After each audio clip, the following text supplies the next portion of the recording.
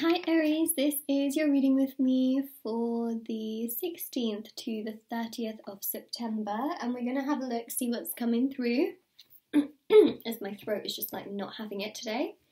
Um, all right, so let's begin, right? So this is going to be for Aries, Sun, Moon, Rising, Venus signs. I have your cards right here, and let's have a look and see exactly what is coming through. So, cards are ready. If you would like to win a free reading with me, of course, check out the description box below. Private paid reading information is below as well, as I offer personal readings done on the same day. And also, there's intention manifesting items which thousands of people have seen results with, um, which are handmade by me and they're really special. The review section is at the bottom of my website. Everything's linked down below. So there's jewelry pieces, but also items you can keep around you. There's sage, crystals, bracelets, necklaces, anklets, pom poms, tassels, embroidered cards, intention pouches with different spices and herbs. Again, these are for like different areas of your life. So yeah, do check that out if you're interested. And let's see, Aries.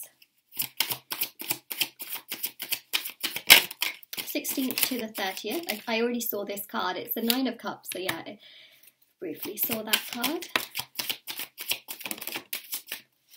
Okay, let's have a look. So I've got the Nine of Cups. I am an upright reader. I thought I just mentioned that. And I don't know what's happening with my throat. I mean, maybe there's something here where some of you might be having throat issues or some challenges with your throat. I mean, there are so many things, right? Like there could be sore throat, there could be a cold. Some of you may have like wisdom teeth issues, like tonsils, uh, maybe even thyroid issues. Like who knows? But when this happens, so many of you tell me how it's resonating to your situation. So I honestly wouldn't be surprised if some of you are just dealing with some throat situations.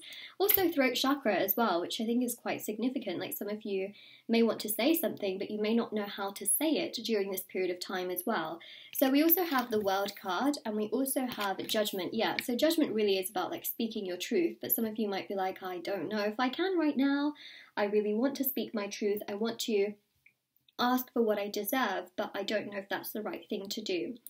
Now, the interesting thing here is that many of you are going to feel very, very um, strong and in your own power, but you're going to also kind of feel a little bit vulnerable, where, like I mentioned before, you may think to yourself, like, I don't know if it's the right thing to communicate and ask for what I deserve. And the reason I say that is because you also don't want to upset anyone at the same time, and you also don't want to lose your chances. That's another big thing I see see what else is happening. Lovers. See, the thing here is that you're rising. It, it's really obvious. You're really rising, you're becoming stronger, you're becoming so much more powerful in your own energy, which is extremely, extremely significant from what we see. So, your rise is interesting because I feel like people feel bad about how they've treated you in the past. And I think that's really one of the most significant things wow. I, you know, I've done thousands of readings, and I don't think I've ever had a problem where my throat has just got so like um, feeling like this. So honestly, it's one of those things. You know, some of you might even be doing um, like an interview, or you might even be talking to someone, and your throat just goes crazy. And like every time you like know what you want to say, it's like your throat is stopping you.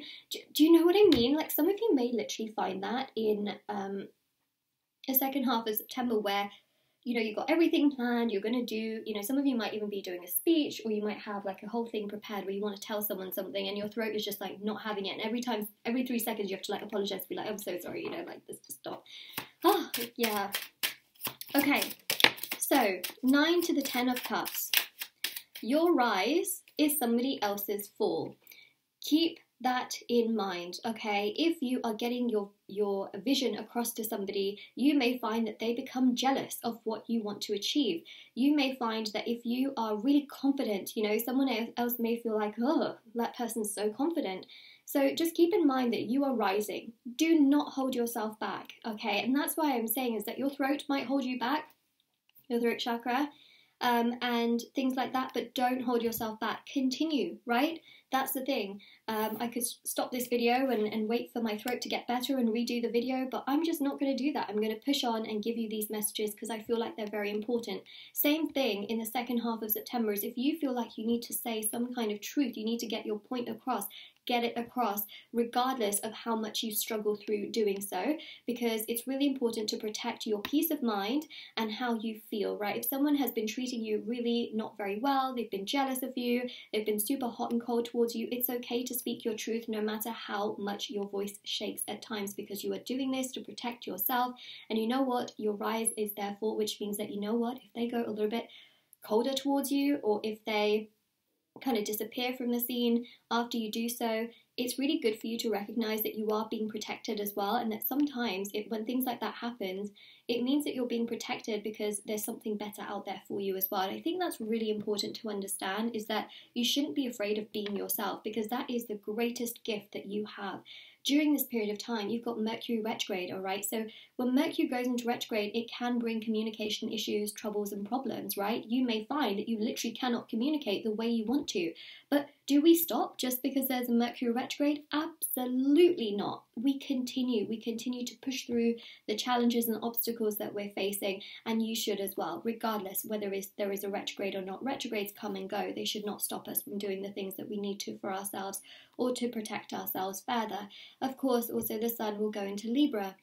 This really does mean here that there will be more balance. You will find yourself feeling better, stronger, happier, more fulfilled, continue in that energy. Okay, so I think that's really, really vital. And the 9 to the 10 of cups here shows you completing what you've wanted to do. So there is something here that you've been sort of having that's been weighing up very heavily on your mind, and you will sort of complete that um, task.